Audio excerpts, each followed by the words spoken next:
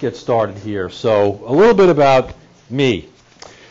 So, the first thing I want to say is that even though this presentation is about uh, truth and facts and the truth as opposed to alternative facts and things like that, I want to make it clear that I'm not coming to you telling you that I have any particular relationship with the truth better than anybody else, nor do I uh, know any particular truths that I'm going to impart. I am really here to say that facts do matter, and if we're going to try and make decisions, we're going to need data. Even voting, voting decisions, life decisions, any decisions, in order to inform those decisions, you do need data. And that kind of gets you into my bio. So I have a background in the digital marketing trades, which goes all the way back to the 1990s when I built some of the very first websites that were ever created. In fact, I remember when I was creating one. This may this may or may not resonate with folks, but um, I was told by the agency that I was working for that the entire uh, page could take up a total of nine kilobytes, which is about I figured it out. It's 0.05 of the size of a typical web page today, which is over a meg. So this was really early, and there was a lot of tricks that I had to go through to make that happen.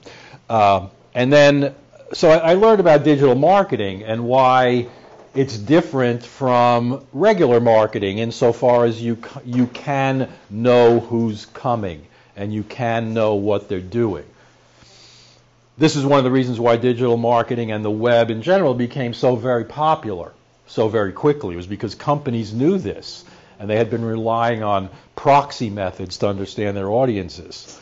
And this gave them a chance to understand their audiences much better, which is why they adopted it. Um, in 2004, I co-founded an organization called the Digital Analytics Association, which has now merged with the American Marketing Association. But uh, that just happened, uh, I believe, early this year. So for a number of years, it was the kind of premier organization supporting the study of user behavior. So um, the way I was involved in that was I had a company that specialized in, um, I don't know if anybody here has heard of a thing called Google Analytics or things like that. Essentially, these are tracking tools that, uh, with some computery stuff that you do on the back end. You put code on the page that the user doesn't see, but it's there. You've all heard of cookies, I'm sure. Um, these is this is how they know who's going where.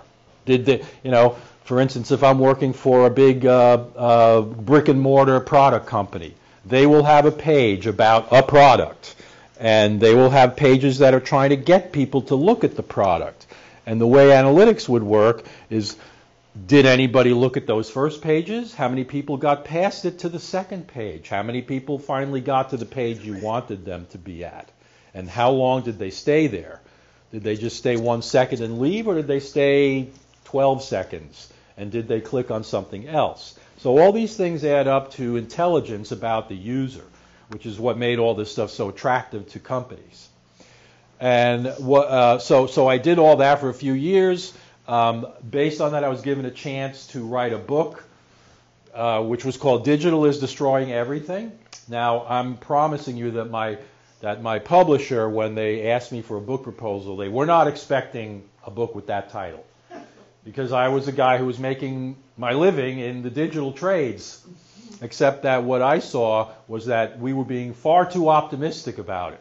This was, uh, you know. Uh, you know, Obama was president. Uh, we were post-racial. There, you know, everybody thought we were just going to glide on into a very happy future, and that digital was very much under control. Uh, and I felt that I was seeing a lot of signs that it really wasn't. Um, I kind of talked about things like um, nation hacking at nation and um, the undermining of, of civic discourse. And I remember especially, does anybody here remember when there was an earthquake in Kingston?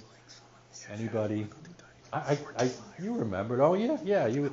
It was years ago when Twitter was first getting started. I was at a conference in Kingston about Twitter, and um, all, there was a lot of people there saying uh, how excited they were to have participate in Twitter and what a great democratization this was.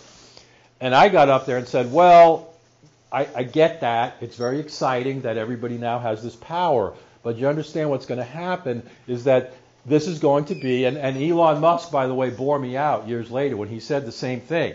I said, this is going to be like the town commons. Okay, the middle of the the middle of the town, everybody shows up, trades gossip. Some people are liars, some people are telling the truth, some people are troublemakers. And you unless you know them, you don't know what where they're coming from. So it means that you don't necessarily have a reason to trust what people are saying there because it could be anybody saying anything about anything.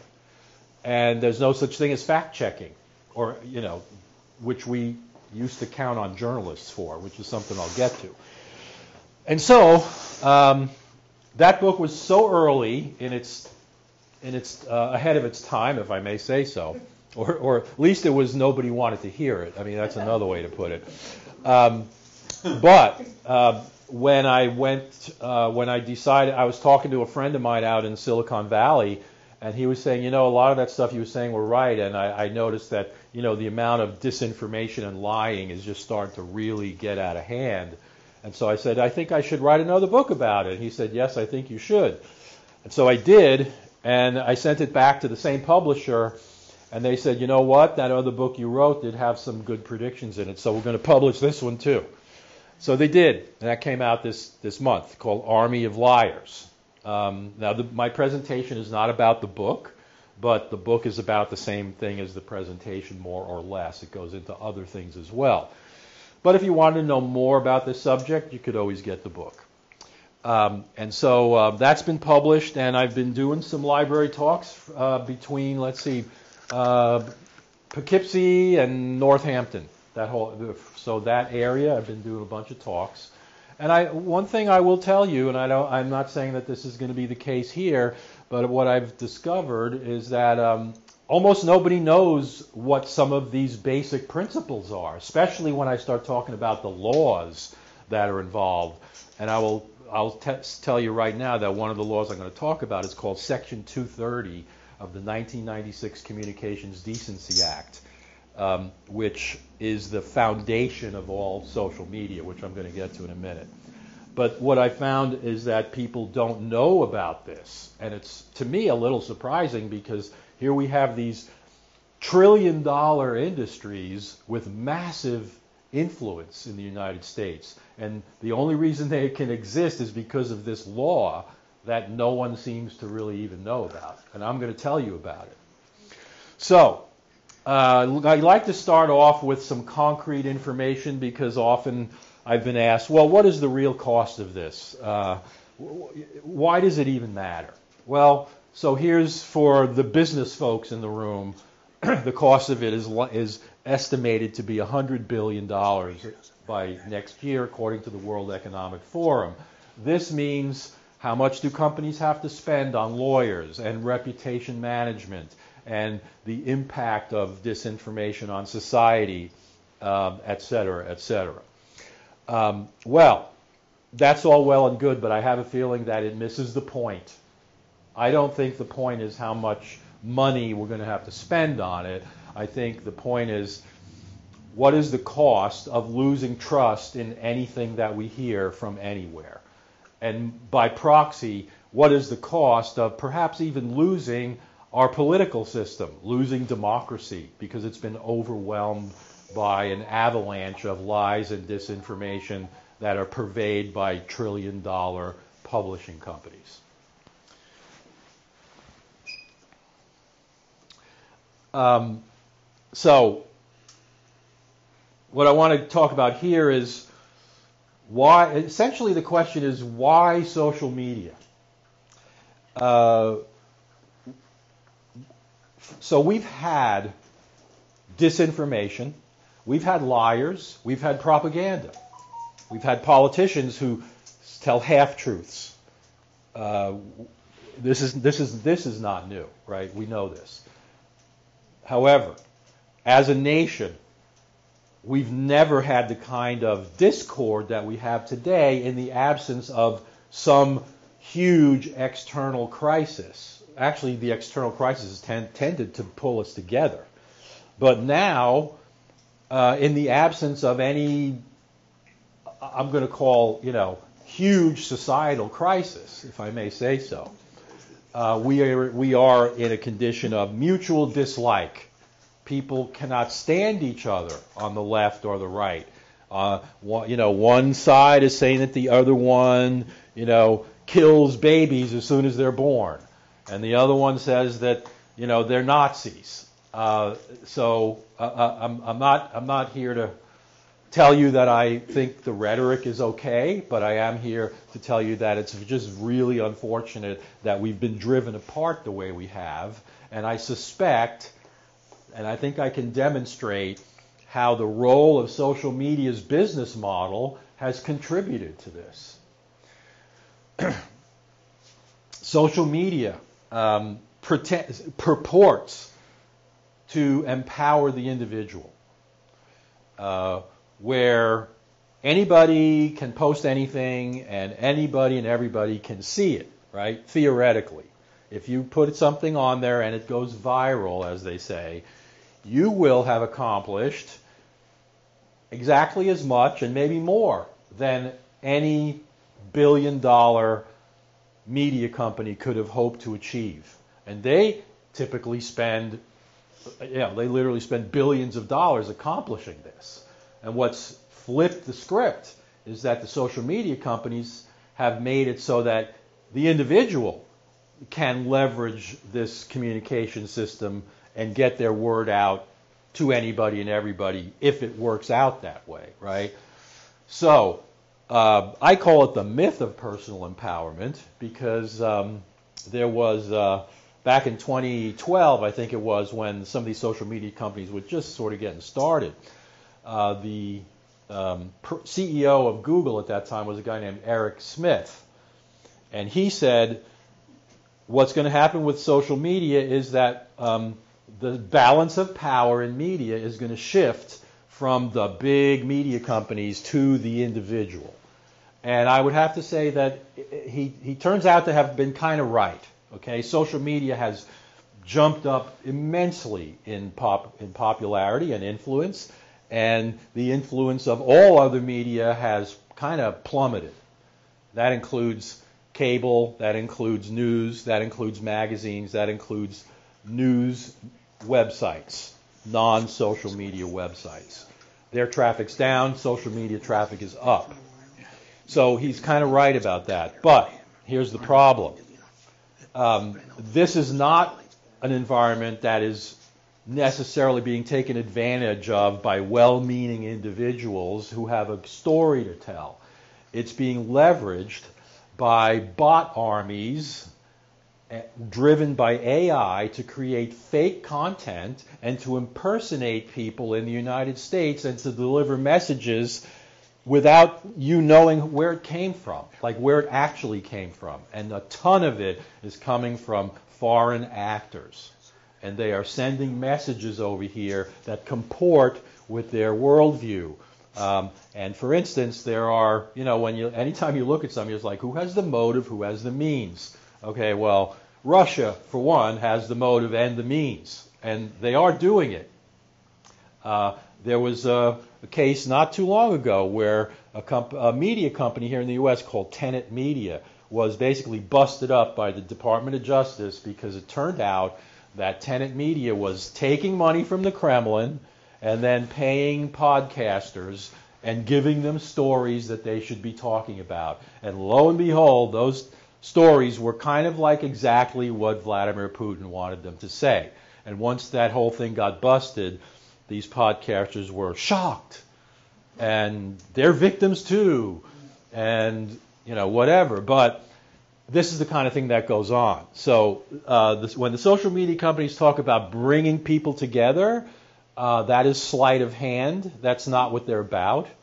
There's only and i'm not here to tell you that they have a, a, a nefarious plan for us because they don't. They have a plan to make profit. And the, uh, as i'll illuminate a little later um, their only goal is profit, and their algorithms are tuned to deliver more eyeballs so that they can sell more ads. And what we found out, and again, I'm just kind of setting the stage here, what we found out is that these algorithms are set up to promote discord because they figured out that that's what keeps people on the site longest. Way down the line is kittens. But it's mainly discord. And so you have a business model that is set up to make people angry at one another so that they can make bank. Uh, I find this problematic.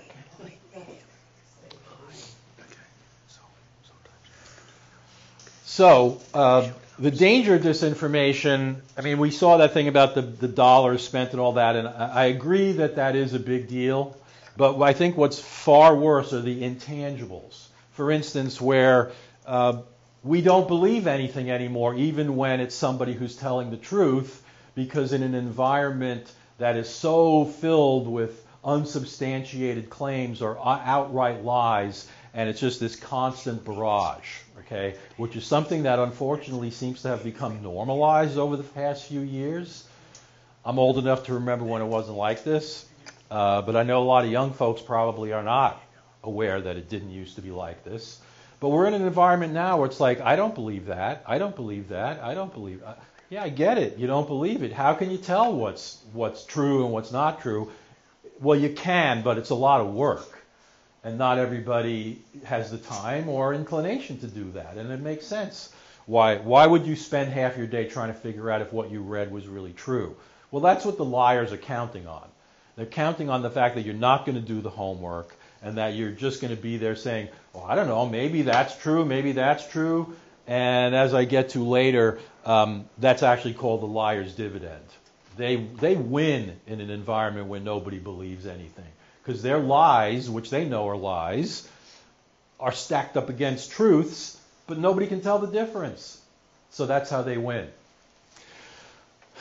Uh, cynicism in general is driven up by these uh, by by discord in social media. So that uh, and, and, I characterize cynicism as when you doubt someone's motives, when wh- whoever it is and whatever they're saying, you're like, wait a minute, who, wait, wh- why are you saying that? What is your reason for saying that? And you know, half the time it's a it's a good response, but the other time it's uh, something that's clearly not believable but we don't have any arbiters anymore. We don't like. I, I, know I'm going to probably tell myself that I should have waited to say this, but uh, we used to have a thing called fact checking in this country, and and those those this thing called fact checking was done by places called newspapers and magazines. Uh, they were called writers and journalists. Uh, these professions have cratered Okay? We fired them all. Okay? We used to buy the paper. New York Times, four bucks. You know, the, the local paper, three bucks. We'd buy them every day. Nobody, I mean, I'm going to tell you a little story. I was in uh, Penn Station a couple months ago, and first of all, it took me about a half hour to find a copy of the New York Times in Penn Station, which was kind of shocking. I found one, you know, they're kind of small now. So I get on the train and I'm reading it, and this guy, random guy, he says, You know, you're probably the last person in New York City who's sitting on the train reading a New York Times. And I'm like, I don't even know what to say to that. but um, so, in essence, I guess what I'm trying to point out is uh, uh, we, we, we got rid of these people. We're not, we, we're not paying them anymore. We're getting all our information from social media, right? Where we're not paying a nickel. Well, guess what? the social media companies are saying, we'll provide any, all the news you want except for one thing, the fact checking. You won't get that anymore. And that's kind of where we're at. So it's up to us now to determine whether what we think is true is true or not true or whatever. And it's, it's a little bit of a slog. Um, so as I learned in my career in digital analytics, um, you can't make this. One of the common things that, that digital analytics people love to tell their clients is that you can't measure what you can't, you can't manage what you can't measure, which means you can't make decisions about stuff unless you understand what's going on. If you have, you need data in order to make some kind of decision. Like if, for instance, the scenario would be, we have a website, we don't, or we did a marketing campaign, did it work? Uh, well, yeah, we can find that out. We can look at the web traffic and see whether it actually d- delivered a result, right? Those are important facts. But if you don't have them, you, you would never know whether that was successful or not. And if you take it out into the public sphere, uh, you also need some kind of truth and data in order to make decisions on. And if you're in a situation where, well, let's just say, for instance, one party has a candidate who seems to not know what truth even is, and just routinely every single word out of their mouth is a lie. If you have that kind of situation, it's corrosive. After a while, you start to lose your sense of like how bad that is, and it starts to get normalized. And I think we're kind of seeing that, right? We're seeing that where, you know, some people call it sane washing, where, you know, uh, mainstream news will will put up, you know, the the the positions of one party and the positions of another, but um, I try not to take sides, but I can't help it. if you have one side who's coming up with policies which may or may not be flawed, may you know maybe they're not 100% clear, but they're they're they're policies, right, of the kind that we recognize from all prior candidates. And then you have a guy who comes in and doesn't have any policies. He's just about basically hate, racism, uh, and, and saying terrible things about people. And yet, you'll go to the news and it'll sound like there's policy positions in there. And the fact is, I don't know if there are any policy positions in there. Maybe there are. But the problem is that these the lies become normalized because they're they're just put together in a way that's like choice A or choice B. Well, somebody somebody was saying, well, the the real choice between those two types of um, inquiry are.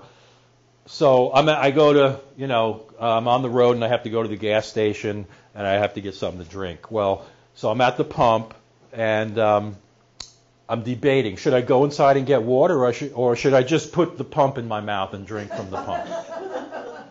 That's kind of where we're at. And so I feel like these lies that are that have become so common in in our in life and all over the media, they are inimical to democracy. You really can't run a a, a true uh, voter supported system if the voters have been subject to years of total lies. And I'm not saying that this means the press was always telling us the truth or that they were 100% reliable because they weren't.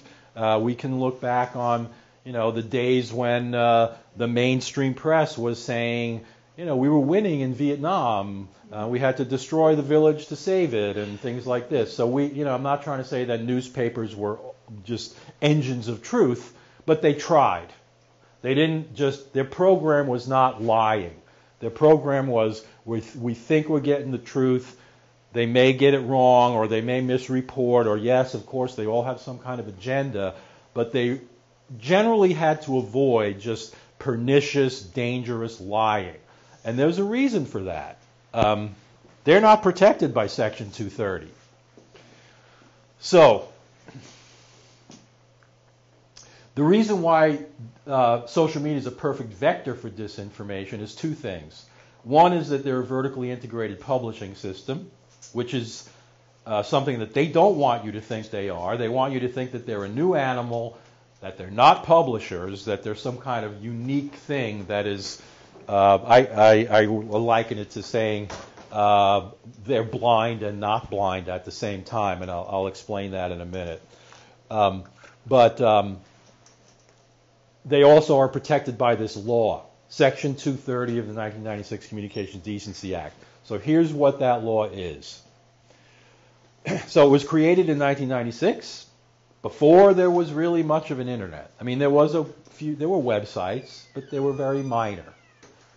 And I can tell you that at that time it felt very scrappy and very kind of uh, almost revolutionary because all the big companies were kind of getting ready to get their asses handed to them, if I might say so, because they just gave, they decided to give away all their content.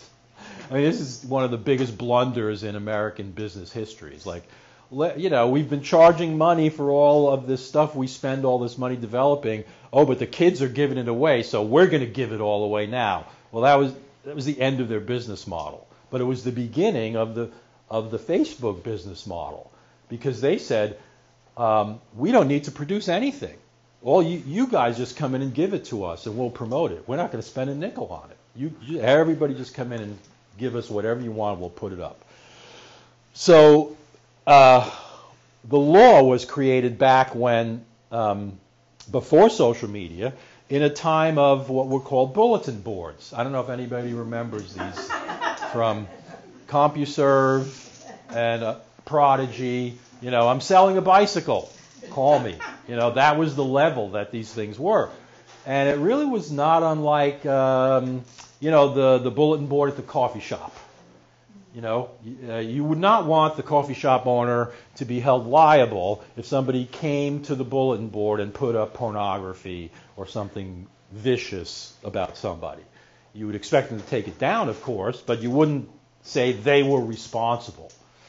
So that's in the spirit of what it was created, because you wouldn't want these little electronic bulletin boards getting blown out of the water for libel because of some crazy thing somebody put on there. And, and that makes perfect sense to me. The second part of it uh, said they, they can choose to not publish what you send them, which also makes sense, just like any publisher. I used to send short stories to publishers. They would reject them. I would get angry but I didn't think I didn't call it censorship. It was just that they didn't want to publish it, right? So they have that right. Well, the problem, of course, is that you can't have both rights at the same time. You can't say uh, at the, at the level of an internationally powerful trillion dollar industry that is enormously influential in society, that you have both the right to decide what you're going to publish, but then once you publish it, you have zero liability. Even if it's a murder film, even if it's uh, e- even if it is a uh, invitation to violence, even if it is doxing someone, even if it is an invitation to harm to a minor, they are above the law, very, very literally. And I'll tell you a little story that proves it. I don't know if anybody's heard of a case called Gonzalez versus Google, which was decided at the Supreme Court last year. It, it's based on the 2015 uh, Paris nightclub attacks. Uh, one of the people killed was an American. Her name, her last name was Gonzalez, and her father um, uh, went went in, in to look at like how did this happen to my daughter and he uh, started looking into how ISIS, which was the the, the uh, terror organization that fomented the attack, how did this happen? Well, it turns out that ISIS, which is, by the way, is no longer a terrorist organization but a media company, they they deploy a artificial intelligence to create little suicide bomber movies, trying to get kids to volunteer to be suicide bombers and you, well, I'm not even going to go into it. You can imagine. Anyway, so they they they they made videos that recruited murderers to go to Paris to kill people. And guess where they put those videos? YouTube. And guess what YouTube did? Because of their algorithms that say, let's say you're someone who likes I'll go back to kittens again. Somebody who likes kittens, right? If you say they're going to show you nonstop kittens after a while, because that's what their algorithm. This this person wanted this, we'll give them more. They wanted this, we'll give them more, because that's what keeps you on the site. Well, they really don't care what the subject is. So, if it's that you turns out seems like you really like those those videos where the where the jihadists are gunning down, you know, uh, Western, you know, young teenagers in nightclubs. Wow, that's that really gets you off. And YouTube says, "Hey, would you like to see more of those? We have lots of those. Well, here's more and more and more until that person is radicalized. So ISIS is deploying the YouTube algorithms. YouTube is advertising around this stuff, okay, and using those clicks, the engagement levels to say, hey, we've got loads of engagement. Our stock price is going to go up. Awesome. Um, so, um, meanwhile, the, the, the, the, problem, the problem becomes um, where we don't we don't have we so let me just get back to my point here about Gonzalez in particular. Gonzalez's daughter was killed in Paris, and YouTube did all that stuff. And then Gonzalez said, I'm going to sue Google. I'm going to sue Google for proximate cause to my daughter's death. In a, I don't know if familiar, anybody here familiar with tort law, but this is a pretty common thing. Like, for instance, if a car company builds an automobile that's obviously defective and, it, and for some reason the front axle keeps breaking and it smashes into a tree, and it happens like 50 or 60 times. At some point, somebody's going to sue that company, and they either can demonstrate that this was some kind of fluke that they've been trying desperately to fix, or they're going to say, gee, uh, yeah, no, we really weren't doing much about it and if they and if it's that they weren't doing much about it, they're going to lose a lot of money. Okay? Social media does not have to worry about it because they cannot be sued because of section 230. They are immune to any of this, so they literally do not care about this, okay? and then and then we have the worst, I think the most ironic part is that there are companies in this country that are liable for those things. You know what they're called? Newspapers, magazines, websites, anybody, anybody, even you and me, are liable for the things that we say. Okay? If we go out, um, let's say uh, we go out and you know somebody uh, uh, says uh, you know they hate the guy down the block. They, you know this is legal speech. You can megaphone. I can't stand the guy down the block. But if you go down to that guy's house and start pointing at the guy and saying, I want this guy gone, that's no longer protected speech for us. Okay? We would get in trouble for that because we're inviting harm to this guy. Okay?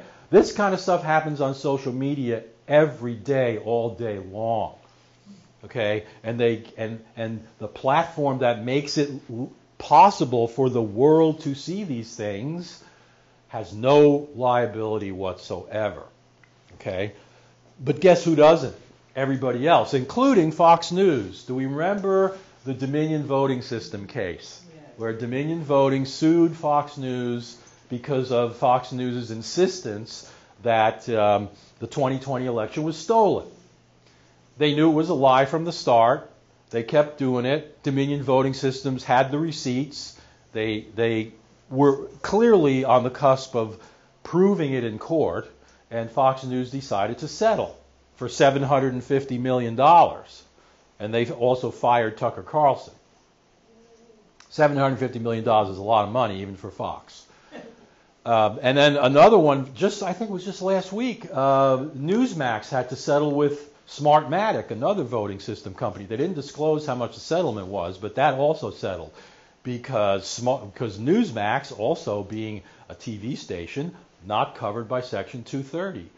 But at the same time, Meta, X, YouTube, you name it, they're all promoting the same exact lies with impunity. So we have a little bit of a dichotomy there. And what, I, what I'm advocating is that we need to level the playing field. Like if we get rid of Section 230, it means all publishers are running uh, under the same set of laws, and we would have we would be much more certain that there was real fact checking at the platforms. And I've I've had some folks in some audiences say, yes, but that would be hugely expensive for them. And I'm like, yeah, I know, it would be. Uh, but um, it's that dire. And by the way, another thing I like to say is um, a lot of people sort of at this point feel like social media companies are a, a force of nature and that they have a right to exist? Well, they don't actually. They're just companies, and if they break the law, they should be punished. Uh, uh if, right now, they're above the law. They can't break the law. They could do anything. So, do you see that passing or not? What? 230? I, I see it staying where it is for now. I mean, it, it, has been in it's been in place for since 1996. I I, I will tell you this that uh, if, if it's not a surprise that almost no one here knows about it, that's kind of the way it is everywhere, including among legislators.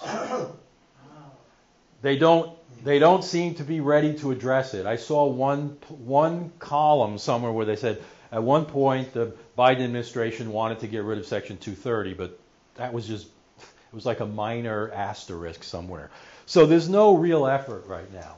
Um, you know, these these big companies will spend very very heavily in Washington, and uh, there there's a, also there's a right a right wing constituency who doesn't like 230, but for the other reason. And I think it's a little bonkers myself. But here's what they say: they don't like 230 because it permits the platforms to not publish everything. Now, they actually and very erroneously call that censorship. We saw that last night on the debate. You know, censorship. Well, I have news for you. Non amplification is not censorship. Okay? Censorship is when the government says, if you say it anywhere, you're going to jail. Kind of like, gee, there was one candidate who said, these people who criticize our Supreme Court should be jailed. That is censorship, okay? Not publishing your screed, that's not censorship, that's editorial choice, and it's been exercised by every every publisher in the history of publishing. Um, it's, censorship is where the government says you can never say this or you're in big trouble. But right now, you can say anything you want as long as it's not, you know, fire in a crowded theater. But the stuff that, you know, Facebook won't publish, you could still stand out on your front porch with a megaphone. No one will put you in jail for it. It doesn't matter what it is. Lies are protected speech, by the way. But, you know, uh, if Facebook or whatever decides they don't want that on their platform, they're going to say no. And that's it. So that's why the, the, these other folks don't like it. So maybe there's a constituency. In any case, um, you know, in an uncertain world, which is the one we live in, uh, facts are bedrock. And I, I, it's very difficult to imagine making any kind of rational decision in an atmosphere that's so fluid and so full of baloney, if I can use that word. Um, so uh, I, I have a, a, very brief little illustration of this, um, where someone is relying on known technologies, but then they're approached by somebody who says not to trust those and to trust something brand new and where that goes. So I call it the tale of the woodland traveler. The woodland traveler is hiking. They need to get to the town before dark. And in order to traverse the woods and get over the mountain and into the town, they're using two pieces of trusted and rather ancient technology. One of them is called a map. And the other one is called a compass. I know it's maybe a little hard today to think about how hard it is to make maps because they're all, you know, we can find anything on Google Maps now. But I can tell you that it used to be very, very, very labor intensive. I have a book from an atlas, a world atlas from 1902. Uh, it's all engravings. And you, had, you could not believe the amount of detail in this thing. The amount of effort that went into this is just stupendous. So my point is that you don't do all that and then have it be inaccurate. You would, you would just be, you would go out of business. No one would buy the map. Of course it's got to be accurate. The second one is the compass. It's not perfect. It kind of wobbles around, but it's pretty accurate it's it's not going to point south. It may not point all the way north, but it's you're going to generally know where you're going. Well, the grifter of the wood comes along and says, "Why are you paying any attention to these antiquated uh, questionable sources. Look at that compass, it's wobbling back and forth. That's called flip flopping. It doesn't really know what direction it's going, does it? And then the, ma- the map. Um, how do you do you know these people? What is their motivation for giving you this map? Uh, what what is the sexuality of the person who decided on that map? Um, they, and, and eventually they convince them to put the map aside and and follow the grifter who says they know the way. Well, the grifter doesn't know the way. They know how to lead them to the camp where they brought all the other people who they caught, and they sit them in there as darkness falls. They pick all their pockets and they leave them there. And that's the end of that story. These people are lost in the woods because they abandoned what they trusted and went with somebody new who said they had some newfangled thing, but it was mostly lies. And that's what's happening now. They're like, what are you trusting all these sources for? I can tell you what happened. Haitians are eating cats and dogs. Um, that's kind of where we're at. So, why the U.S., though? Other countries are not experiencing this quite in the way that we are, although they are. There was a story not too long about how uh, there was a Chinese uh, spies that were busted in, in the Czech Republic for uh, fomenting um, disinformation in social media. But um, here's the thing we are the powerful country in the world. Everyone cares what's going on here. Do we, whereas we hardly care what's going on there. You know, we know, we know, some of us know who the president of France is, some of us know who the president of Italy is they all know who the President of the United States is, and they all know who, who they want to be President of the United States, and some of them have, they, look, they've always wanted to influence elections here. It's just that they didn't used to have any way of doing it, okay? Because in order to put a commercial on TV, it had, it had, you'd have FCC rules, okay? FCC rules would say you can't take money from foreign corporations to put up a domestic political ad. Okay? So you would never have seen, I'm Vladimir Putin and I approve this message. Wouldn't have happened. But guess what? Now they can disguise it in all different ways and get it into social media in a big, big way and get it all over the place without ever admitting who they are, where it came from, or why they're doing it. Okay? And they've accomplished their goal. They have gotten to people. Um, so that's one reason. We're a global target, the fact is. Uh, and so uh, there's, uh, there, there's, there's that, and there, there's their ability to leverage the mechanisms of social media, which are, which are considerable. Social media has the ability, kind of like I was alluding to earlier about studying your audience, social media has the ability to do that, I would say, a hundredfold better because it's that's all they spend their money on. So they know that they have about a million different slivers of populations that they can deliver to advertisers. So if there's an advertiser who wants the, uh, you know, uh, I hate this, I hate that, and I'm I'm always clicking on all kinds of evil disinformation stuff. They know who that who that slice is, and they will sell that slice to an advertiser. They don't care who it is. It could be a criminal organization. It could be anybody. They just don't care.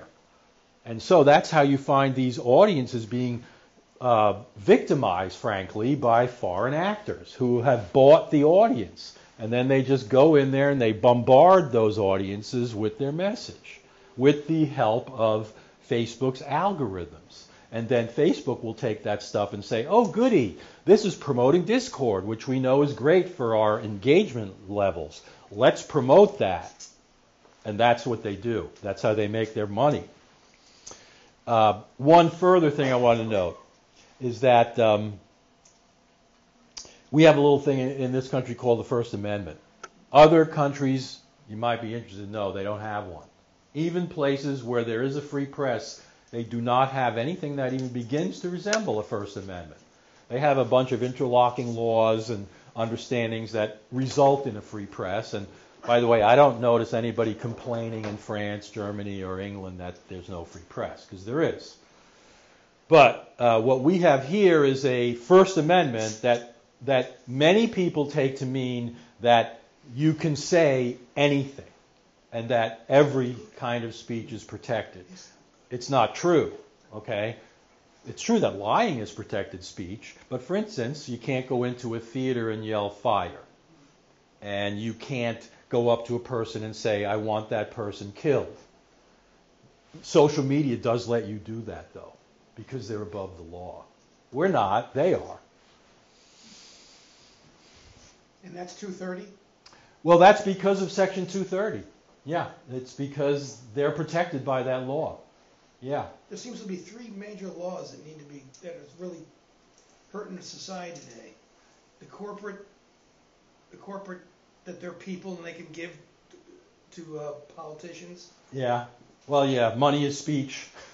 And then the last thing they did with the Supreme Court, with the president making them Yeah, above the I mean, law. We get we, so yeah, he would join them abo- above the law. Um, I, I have a further distinction to make about that, um, insofar as they want to say that they're not publishers, which is very interesting because if you look at what they do, every single thing they do is the activity of a publisher. Uh, but they don't want you to call them publishers because that would mean they wouldn't be they wouldn't be able to take advantage of Section 230. They want to say they're something else. They want to they want to say they're a special thing because of their technology and their approach. And I'm here to tell you that that is sleight of hand because it's as silly as if a newspaper said we're above the law because we have a really special kind of ink that we spent billions in creating. The, but what what do we see? We see words on a screen. Okay, we I don't care what kind of technology you did to develop it. The public facing thing are stories on a screen, and a lot of them happen to be lies. What are you going to do about it? Apparently nothing because they're above the law. So it, it does help for us to know how to fact check and things like that. Um, you know, critical thinking is always really important, being able to uh, get out of your bubble, your information bubble, and I would hasten to add that we're all in one, no matter where, where we are on the political spectrum. Social media knows where you are on the political spectrum, and it will continue to show you stuff that more or less is about uh, belief confirmation. Oh, I always thought that was true. You know, oh, there's a story to prove it. No matter where you, they know, they know that that's what'll keep you coming back. Uh, and so you have to try and get out of your bubble by looking at alternative sources and look, you know, looking at where did that story come from? Does it have any corroboration? Does it show signs of extremism? Does it show signs of intolerance? Does it show signs of attacking people ad hominem? These are all kind of signs that there's something wrong with it. Um, all, all aspects of critical thinking. And I mentioned the liar's dividend, where it's very difficult to discern between truth and lies when the whole room is filled with lies. And the liar's dividend is such that nobody believes anything anymore, which is great for them because then it's so easy for them to just put lies out there and people will be like, hmm, okay, well, maybe that's true too because we don't really know. That's, and believe me, they're counting on that. However, I will say this about this whole part. That's it's great for us to be doing this, but I think um, I liken it to fighting an, a, a tidal wave with a teacup. Uh, because if we don't shut off the faucet of this massive, massive amount of disinformation that is being put out there uh, by parties through the, these uh, uh, uh social media sites, um, uh, then we're, we're just in for a bad spell. I don't, I don't see how we can, I don't see how we will be able to get out from under it. so, um, here's some places to fact check. Social media platforms have none. They, they don't have any fact checking. Or, or, let me put it this way they say they do, but I, know, I don't know if you noticed that, for instance, um, when Elon Musk bought Twitter and turned it into X. First thing he did was he fired like almost all of the content moderators. That's because this is very costly. It's, it's costly for them to have people looking at stuff and deciding, wow, we really, you know, no, we don't want that on here. Uh, and, but it's very, it, it's a big deal, and they've all kind of slacked off from it. And moreover, there's pressure on them from usually the right, where they're saying, wait a minute, um, you're censoring. And then they'll just, you know, batter them about censoring. You're, you're not letting people hear the truth. No, we're actually trying to keep lies off our platform. But, you know, the liars never want to hear that. So here's a couple places that I know about. Snopes.com is, is very good, but it's they, they only choose a few stories a day. So it's not like you'll automatically find what you're concerned about there. But they're pretty good at it. They will give you chapter and verse on how they, whether they discovered that this was fake or not. Um, So PolitiFact, Snopes, that's, that's Snopes, Snopes.com. all right. Yeah. Snopes, we could get Snopes. Yeah. Um, and then PolitiFact has a, a truthometer, which you'll probably see. It's uh, the pants on fire thing, which you've probably seen. Also pretty good. And then there's one called NewsGuard, NewsGuardTech.com that also does that. Uh, there are a, lot of platforms out there that help people who pay them to figure out what is real and what's not. Those are more for like corporate level. Uh, and I, I, I don't think any of us would be able to afford those. But they're platforms that do a good job of parsing what the source is of something and wh- why, how it got there, why it got there. It might make sense for some of the social media companies to buy some of these and, and deploy them, but we'll see if we'll see whether that happens. so a lot of people um, will say, you know, it might be too late for social media. Social media is a poisoned well. Maybe. Uh, I'm not sure I agree, but I do agree that it's going to be very, very difficult to fix without fixing Section 230. I feel like if we don't fix Section 230, it is too late for social media because right now it is a sink of disinformation. Not all of it, of course, but a huge amount of it, and especially if you're one, in one of those sort of unlucky uh, quintiles, if you will, where they've figured out that you will believe all this stuff. And then they just deliver that stuff to you nonstop until you're unshakable. You're like, oh no, uh, everything I see is telling me this, is telling me that. And it can, yeah, it makes sense. I mean, if that's all you ever see, you're going to start believing it. This is what the propagandists want. It, the social media companies don't necessarily care. They don't care about that, but they do care that you stay on their website. And it so happens that what keeps you on their website is when you're angry. And so these these manipulators, I call them cynical manipulators, they will try to amp up the anger. And that suits them because it makes you hate other people, which means you'll vote against them when the time comes. And the social media companies like it because you're on their platform for longer. And they can sell more ads and be more profitable, and their stock price goes up. So that's kind of where we're at with that. One other thing about social media and the age of fact checking. So um, I, I talked about how you know we used to have fact checking in journalism, journalism, and all that stuff. Um, and so to go into a little more detail of that, uh, so journalism's been with us for a while. Um, I would say that the first hundred years of journalism, say from the year 1800 to 1900, there really wasn't much of a thought for truth. A lot of it was just pure garbage. People would make stuff up. There was no professionalism. But sometime after the Spanish American War, which was basically fomented by the Hearst newspapers, by the way, the journalists sort of started to think, you know what? I think what we want is a reputation for truth because I think that will get people to buy the paper. They want facts. Let's just try that. And so, long about 1910, 20, World War I, etc., you started to get this sense of journalistic integrity where you had the muckrakers who would go in and d- expose corporations for exploiting workers and all kinds of stuff like this. And the press became known as kind of a change agent and a, a truth teller, if you will. And it, and it kind of stayed that way with notable exceptions um, until recently. Okay. Now, of course, you know, we had times when mainstream media, the press, would be like, nuclear power is going to save all of us. You know, I remember I collect old magazines. You can look at old Life magazines and find lots of these puff pieces about things that we don't feel that way about anymore.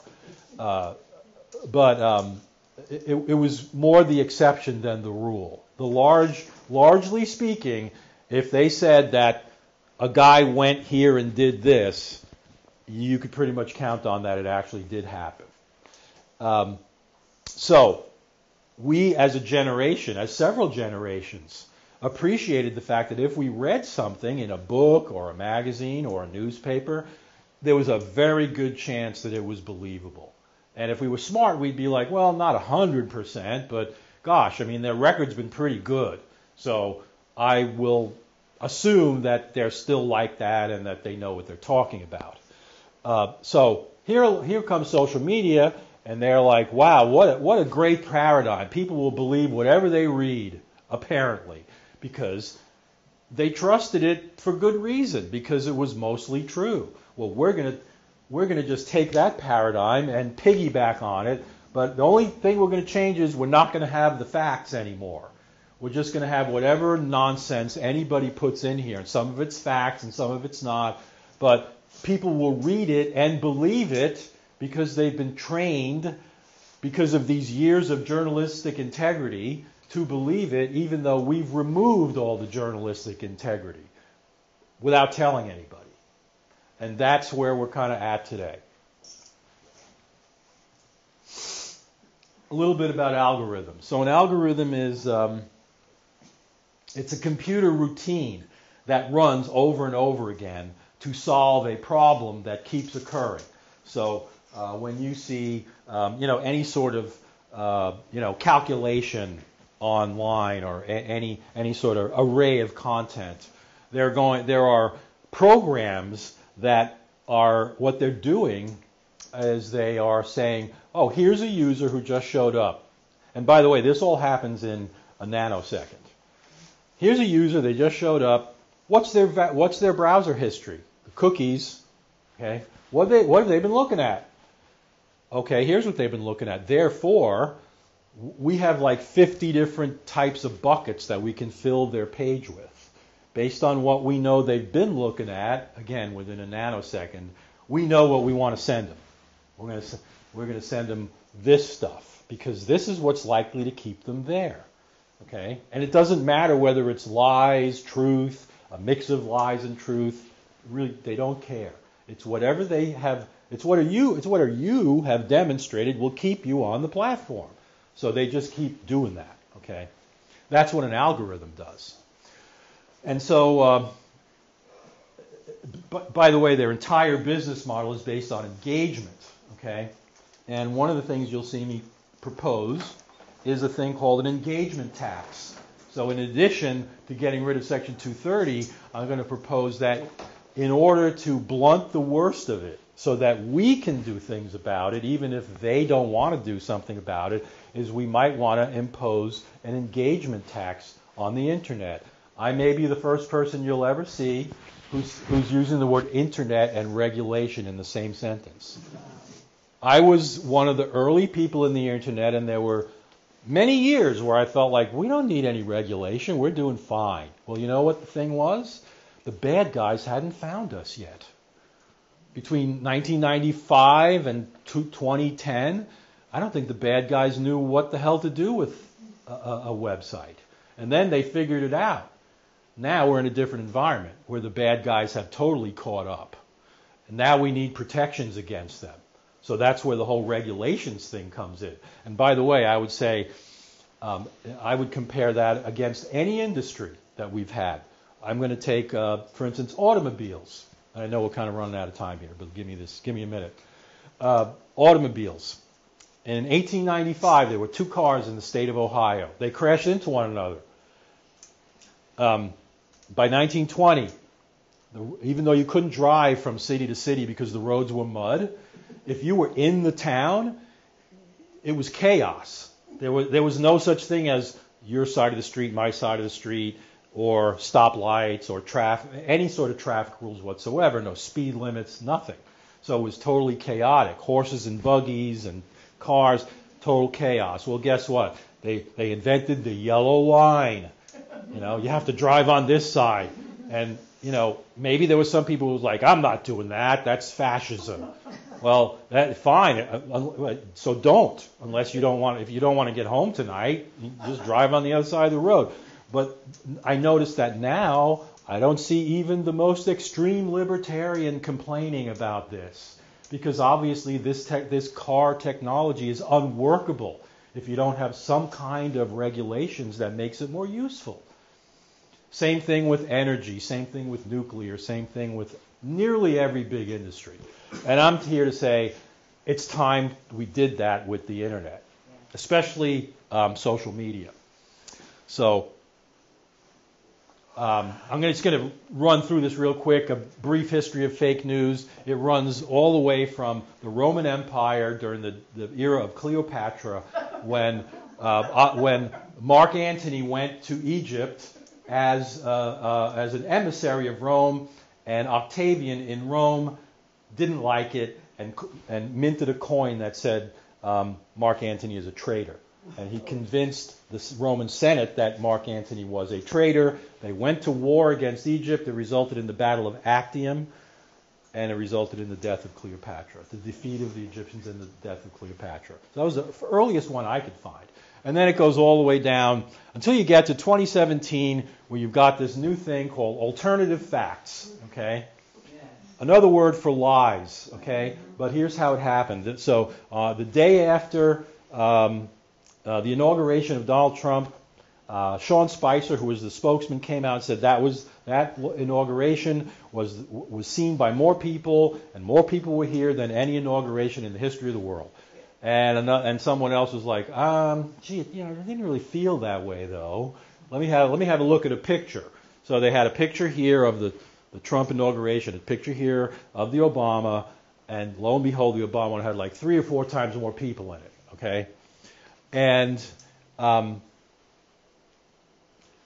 so on Sunday, that Sunday, Chuck Todd has his uh, Meet the Press, right? And he has Kellyanne Conway on, who was the senior spokesperson for the Trump campaign. And he said, um, Kellyanne, why did Sean Spicer go out there and tell a lie on day one? And she said, You're getting too excited about this, uh, Chuck. He's just giving you alternative facts. Well, that's another word for a lie. But she gave it a moniker that professional liars have been able to leverage for years now and, and act as if there really are such things as alternative facts. But there aren't. I'll give you an example. Here's a fact the Titanic sank. Here's an alternative fact it didn't. That's the difference. So, to wrap up, uh, a role for government? Uh, yes, yes, because we already have laws about uh, hate speech, but and and and my I guess my point is here about you know getting rid of Section 230. Why I think it's kind of an elegant solution is because once you get rid of it, the government doesn't do anything else. It doesn't require the government to do any censoring, any talking, any suggesting, nothing. It just makes them in the same category as every other publisher. Guess what keeps all these other publishers in line? It's the threat of getting sued in court. Okay? And the courts are pretty stringent. You can't just walk into a court with an imaginary problem just because you were offended. You have to have been damaged. So, for instance, this guy Gonzalez could say, I'm sorry, listen, YouTube, you advertised murder. Okay, you profited off of murder. Um, my daughter's dead. I think you have proximate cause. He might have had a case. And you know what? When a comp- when a corporation starts to see a downside to their behavior, they change their behavior. You can see this in any company. Right now, there's no downside for them to keep this up. But if there was no Section 230, all it would mean would that they'd have to be worried about getting sued, which, you know, if you're going to go before your shareholders and say, oops, we owe $2 billion because of et cetera, et cetera, they're going to be kind of angry. So it's an incentive. I think I've, yeah, so uh, let's, you know, I, I think I'd love to see us all go forward into a truthful digital future. Um, I think we all have to uh, insist on access to facts for ourselves and for others. Uh, and um, of course, I love, I, I, think there's a good distinction between critical thinking and this total skepticism of the person who, quote unquote, does their own research and comes up with 25 different falsehoods, thinking that because they found it on the internet that that's true. Um, that that's not a good outcome. Uh, and of course, I'm trying to build an anti-disinformation constituency. I do notice that it's in the news all the time. But here's what I will tell you, and one closing note, is that while I hear about disinformation all the time, I don't hear anybody talking about how they're going to fix it. I, I am telling you how we can fix it. So that's what I leave you with. Any questions? Thank you. Thank you so much. Yes. So I'm, trying to understand, you're saying that the news sources no longer are giving information? Like, if I'm looking at Time Magazine, Newsweek, things that I thought were reputable are no longer reputable? No, that, no. Um, those are not social media companies. Uh-huh. Those are just websites. Right. They're, they're not accepting, like you can't send something to Time and have it go up, right? That's what I thought. Right. No, no. All the news websites are just like magazines. It's only the platforms, the Meta, the X, the YouTube, you know, Parler, wh- whatever, all of them. Right, there's still hope. There's still Yeah, if we can, there. if, and I'm not saying I'm in love with Time Magazine, Right, right. you know, th- they've made mistakes too, but at least they have a paradigm that involves fact checking, mm. right? And, and the, the social Well, media that's what I was companies don't. until now, because they believe you know, looking at a certain, you know, like BBC or Yeah. PBS. and, yeah. you know, And by the, by the way, it's not merely out of the goodness of their own hearts, it's because they get sued Right, right, for, for lying, because they're not protected by Section Right. 230. okay. right? It's Section 230 that frees these guys up. Yeah, Cindy, could you put up your last two slides, which are Yeah. your summation slides? sure. Uh, let's see. So that, that one. Yes. So how do we, how do we actually get access to, to demand or or request uh, those actions that you're? uh, Right. Well, um, I know that uh, I know that in my book I have a letter that one could write to their um, a sample letter that one could write to their uh, congressperson. But it really does come, you know, I mean that's just a sample letter, but you could probably do as well yourself. But my point is, I, I'm I'm trying to get local politicians interested in this. I'm sending my book to them. I'm trying to get them to understand that this is something that we care about, you know, as a nation. Uh, and uh, eventually it's going to have to go to Congress, and Congress is going to have to do something about it. There are people who occasionally talk about it and who occasionally have sessions about it, but um, uh, it, it's not that we don't have enough of a, a constituency yet. So what the, the head of Facebook has been in front of Congress, I don't know what for. Yes, yes, he has. And, About these issues, um, a little bit? the- tangentially, yes, not specifically about Section 230, but about the, for instance, the invitations to harm of, of you know minors and And the you know, political stuff, right? and and s- m- more than anything else, it's about you know human trafficking and this kind of stuff. Which I didn't even get to that, but that's also happening on these places. And so his big thing was he got up in front and turned around and looked at the audience and says, "I am sorry for anybody who's been hurt." like, uh, no, that's just not enough. yeah. Well, why haven't we learned from what happened with social media? Why is AI out there without Hmm. any regulations? Because I, I think that's going to just compound It is. everything you said. Oh, it absolutely is. About, why didn't we learn from that? Like Ah, well, because it's kind of happening concurrently. Um, and let me, I, this is this is the way I see it. Uh, for what it's worth, the legislators, all of them, except for maybe a very few young ones who are kind of tech savvy, I, I got to be honest with you, they, I don't think they understand this stuff. I really think they don't, and so they're not doing anything about it. Like for instance, um, it wasn't very long ago. Uh, a case went to the Supreme Court. I don't remember the case, but it was definitely related to social media. It wasn't Gonzalez versus Google, it was something else. And Eleanor Kagan, who's one of the liberals on the bench, said, "Well, you know, this is the thing. None of us here are really experts on social, on the internet or technology, so I'm not sure what we're going to do about this." And I, and I immediately, I felt like such cringe on that. Like, really?